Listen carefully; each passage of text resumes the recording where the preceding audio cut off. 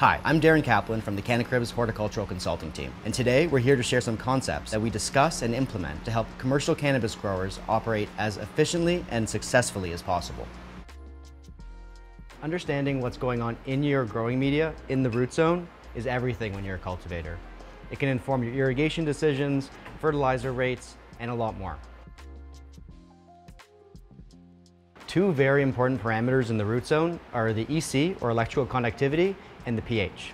There's different ways to measure the EC and pH in your root zone, but one of the easiest and most practical when your plants are actually growing is called the pour-through method. The pour-through method involves first fully irrigating your plants, so irrigating your plants with whatever fertilizer you're applying at the time with complete saturation until regular runoff. Then you wait 30 minutes to two hours. Once the nutrient solution in your growing media has come to an equilibrium, it's time to displace some of that liquid and collect a small sample. We're looking to collect about 50 to 100 milliliters of solution, and it's really important that you're not getting too much more solution or too little, because then you start diluting the sample.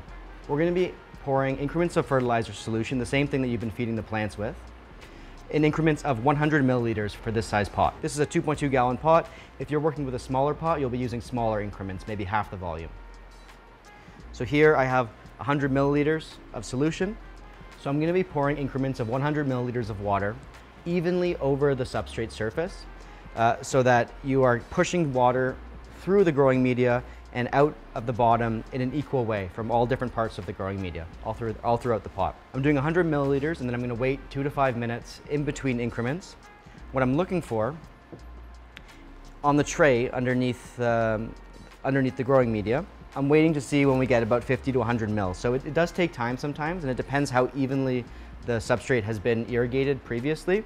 You might have to do five or six increments of the 100 mils. Ideally, you know, you're just doing two or three, but it's really important that you're only getting, you know, within that range of 50 to 100 mils, and you're not overly diluting the sample by putting too much water into the growing media. You'll see I have the pot placed on in a saucer on top of a stand. So that allows the water to flow through the pot into the saucer, but not get sucked back up into the pot. So I'll wait here for about two to five minutes more, and then get ready for my next increment. I have two jugs here. I have one larger one filled with uh, fertilizer solution, and then I have a smaller one for actually pouring the water. Every time I want to make a 100 mil increment, I'll pour it here. It doesn't have to be perfect, be close and then I'm ready to pour again. So now about five minutes has passed. I'm gonna do another increment, again as evenly as possible over the growing media, and then we wait. There are slightly different ways of performing this method. Uh, North Carolina State University uh, was first to kind of come up with it, and so I would follow their recommendations. As long as you're doing it consistently from crop to crop and between crops, that's the most important because what you're looking for is tracking change over time. Pour-throughs are a very useful part of a nutrient monitoring program. You'll see over time how the EC and the pH in your growing media changes, and you can adjust the fertilizer rate and the pH of that solution as you water. You can set targets for what you'd like to see in the growing media, for what the plant's actually receiving, and then you can use these measurements to keep those targets on track. Instead of making decisions based on what you're feeding, so the, feeds, the feed pH in EC is much less important compared to actually what the plant is receiving, which is the root zone pH, and that's what we're measuring here. We're actually displacing water that's in the root zone by only applying it from the top, and what we're looking for is that none of the water that we're actually putting in here is coming out the bottom. The only water that we're measuring is water that's already in the root zone, that's already come to an equilibrium after that 30 minutes to two hours, and that's very indicative of actually what's happening in the root zone. Okay, you want to be careful not to spill any water from this container into the saucer because that'll give some, uh, that'll cause issues with your readings.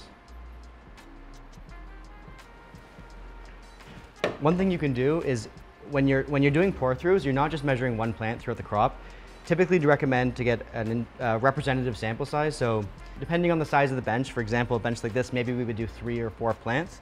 And you can come and do one uh, aliquot, one uh, treatment of water, go to another one, do another, and then keep coming back to check. And it's much more, it's a much more efficient use of your time instead of constantly working on one plant.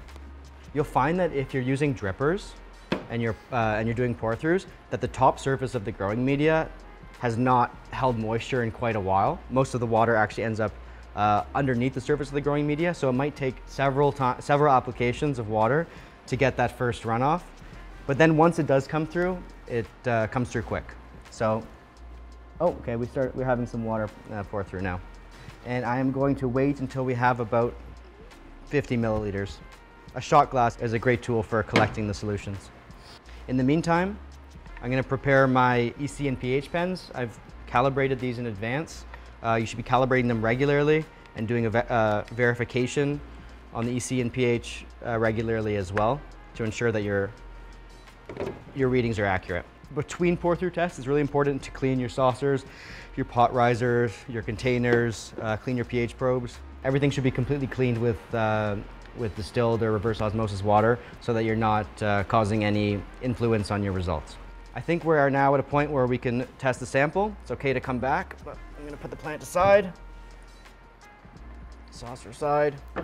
You can see here, we really don't need a lot of water in the saucer to, uh, to get an accurate sample. I'm gonna pour it in. You wanna carefully pour it into your um, measurement vessel. So here I got, this, this is about one ounce, yeah, this is a one ounce container. So I've got about 40 milliliters here and there's a little bit left in the saucer, so that's a good, uh, that's a good size sample. You can use the same sample for both EC and pH, that's not a problem. I'll start here with conductivity, with electrical conductivity, moving, moving the pen in the solution until it stabilizes. And it looks like we have an EC of 4.1.